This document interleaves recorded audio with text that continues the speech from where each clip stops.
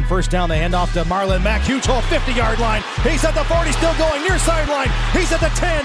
He's at the 5, and he will score. Touchdown, Marlon Mack. Touchdown, I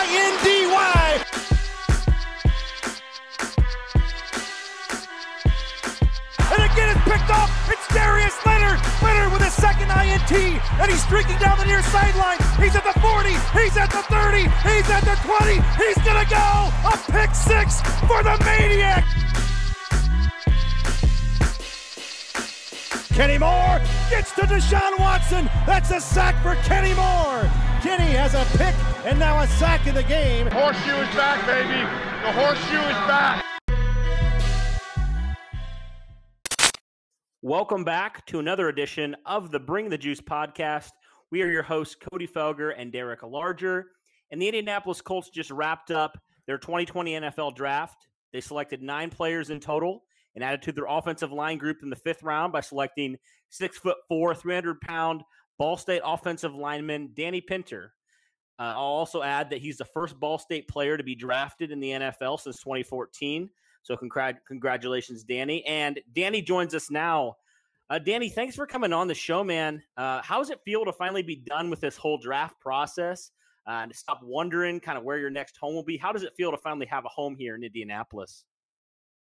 That yeah, that's definitely a great part. Um, you know that you know you do the whole process with you know so much uncertainty um, and just not knowing. So you know to have this figured out um, and have know where I'm going to go, where it's going to be, who it's going to be with um, is definitely a good feeling because now you know you can just transition to focusing purely on the team and uh, football aspect of it. Yeah, Danny, thanks so much again for being on. Uh, obviously, when Chris Ballard was talking about them selecting you in the fifth round, they even talked about you know potentially moving up to get you. Uh, were you surprised based on you know who you were talking to that the Colts took you in the fifth round? Uh, not necessarily. You know, you, you, when you go into it, I mean, a you don't know what's going to happen. I mean, you, you don't have all the information there, so you kind of have to go in with an open mind. But they, I had spoken with the Colts several times leading up to the process, um, and you know, they were a team that we knew had some interest. So when they called, um, I mean, obviously it's a surprise no matter what in some sense, just because you're never fully expecting it. But they're definitely one of the teams that we had pegged out as uh, having interest. Mm-hmm. Yeah, and Danny, you played football at Adams High School, which is in South Bend. Um, so staying in Indiana, and then you stayed in state, played for Ball State in college. So I'm curious now, what goes through your mind knowing that from high school to college, now to the pro level, you've been able to stay in Indiana and play football. You're basically your entire football career. Yeah, it's awesome. I mean, it's crazy. I don't think you know. I don't think a lot of guys can say that. Um, so to me, it's definitely a blessing. I mean, I love Indiana. Um, everywhere I've been, um, it's just been surrounded by a lot of great people um, who have, you know, helped me so much to get to this point. Um, so, you know, to stay close to that um, and stay connected to, you know, these communities that have helped me, it's, it's a really cool feeling. Um, and like I said, you know, a lot, not a lot of guys can say that. So I definitely feel lucky to have this um, opportunity like that. Yeah. So obviously, Danny, you were a uh, tight end in high school when you started out. Then you transitioned to being a lineman in college. I think most Colts fans, when we watched you being uh, drafted, we saw the clip that ESPN posted of you catching a pass as an offensive lineman and running it in for a touchdown. So it certainly still looks like your tight end uh, qualities are still there. Uh, why did you end up transitioning uh, from tight end to offensive line? Could you like take us through the process of how that went down? Yeah, so it was in 2017. I was playing tight end, um, and uh, that year we had a bunch of injuries all over. So I was starting at tight end, but also taking some reps as the emergency tackle, just because we had so many injuries on the offensive line. Um, and I was doing a lot of blocking as a tight end, so um, kind of put the idea in my coach's mind. And then at the end of the season, you know, he just approached me and said, "Hey, like we need a tackle for next year. Um, we think we think this moves in the best interest of both the team and you." Um, and asked my thoughts about it, and yeah, just fully embraced it and went from there. Um, and it was certainly, you know, a process to get to this point. Um, just a lot of work that went into it, but uh, it was a cool transition to do, um, and something that I definitely look back on and am thankful that it happened.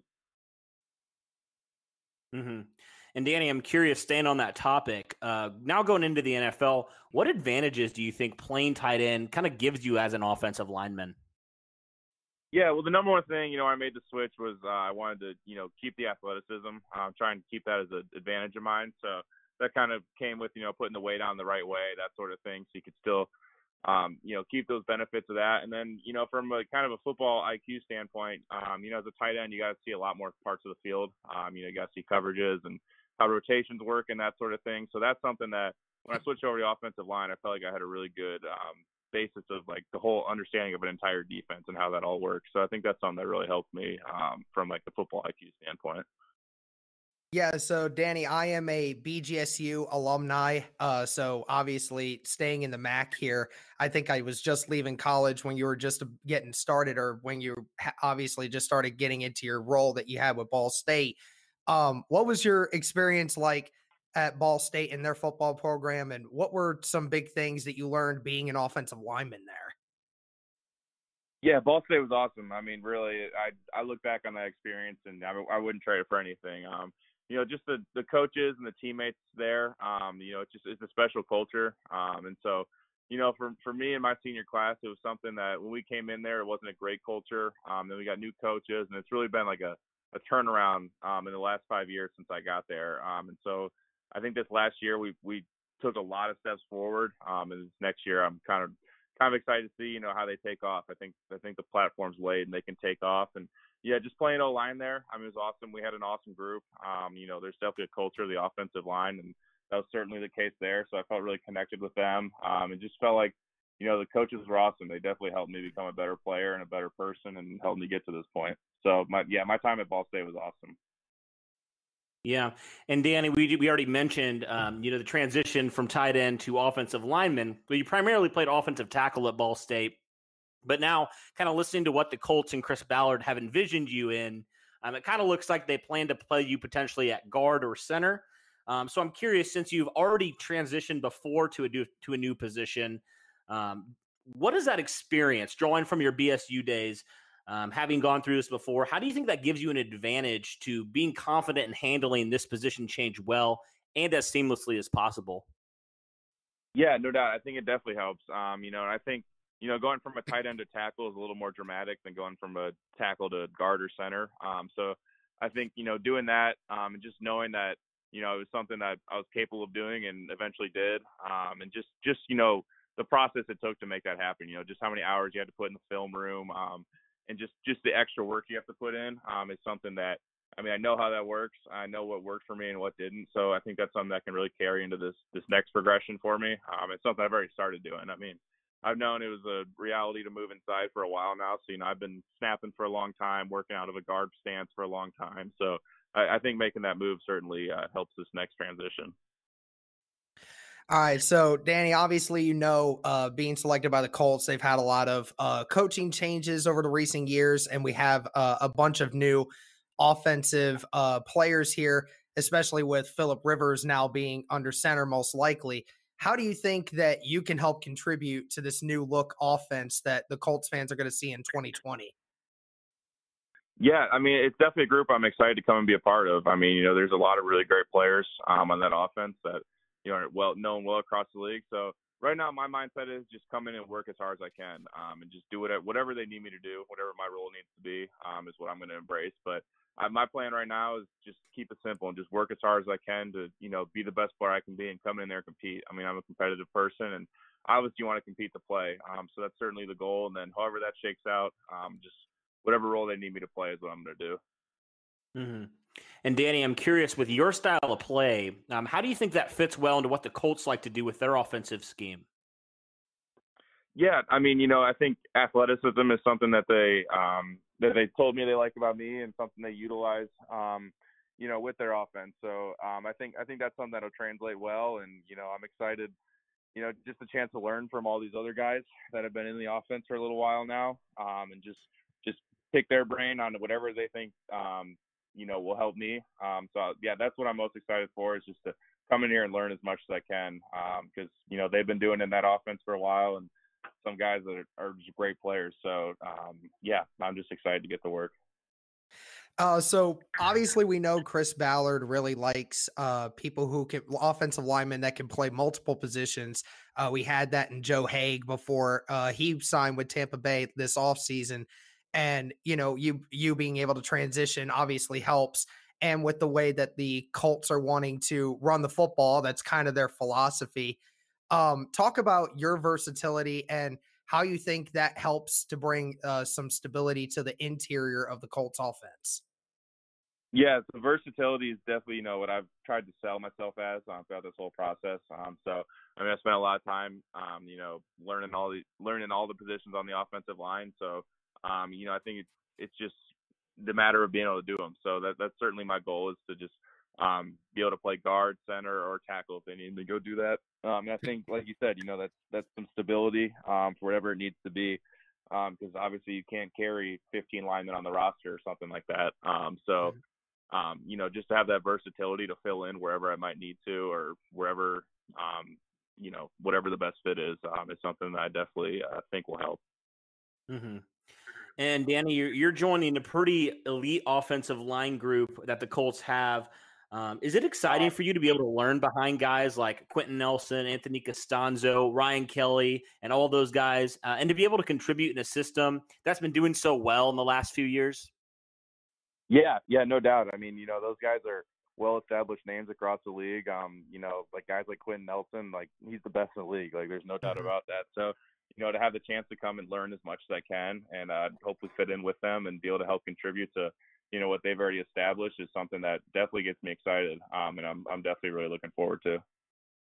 Yeah, so let's talk about your strengths and weaknesses here, Danny. What are some some of your strengths that you feel you can bring, and what are some things you're looking to improve upon for this next season as you become a pro? Yeah, so you know, strength. I think you know, like I said, like my athleticism is definitely my biggest strength. Um, and I foot combine that with my football IQ, and uh, you know, just the way I like to play the game. Um, I think you know, how you how you play the game says a lot about you. So I try and you know reflect that in how I play with effort and that sort of thing. Um, and so those are things that I think help me. And then you know things I'm trying to work on. You know, since I made the switch over to offensive line, I'm always trying to hone in on my technique. Um, just make that become more and more and more natural. Um, you know, and I think that that's just been a steady progression for me. And then you know trying to get stronger as well. I think you know I'm still still coming into the offensive line body. I mean, I've only been in it for two years, so just trying to continue to get stronger and translate that over to my game as well. Mm-hmm. Yeah, and Danny, we talked about you know when Chris Ballard mentioned co- talking about you. Um, you know, he mentioned like Derek said, you know, just he wanted to trade up and he wanted to get you. Um, you know, how does that feel for you as a player, um, knowing that the Colts have so much confidence in you, and Chris Ballard has raved about just how much he loved being able to have you on his roster. Um, how much confidence does that give you going into year one, just knowing that the Colts and Chris Ballard uh, really think that highly of you?